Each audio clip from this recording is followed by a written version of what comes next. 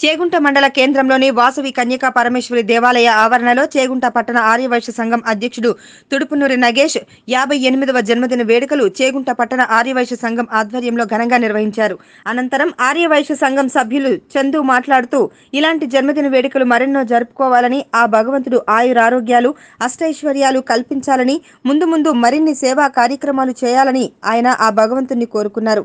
ఈ కార్యక్రమంలో హనుమయ్య రాఘవ నాగభూషణం సురేష్ నర్సింలు కిరణ్ చందు వెంకటేష్ గణేష్ తదితరులు పాల్గొన్నారు. జై వాసవి.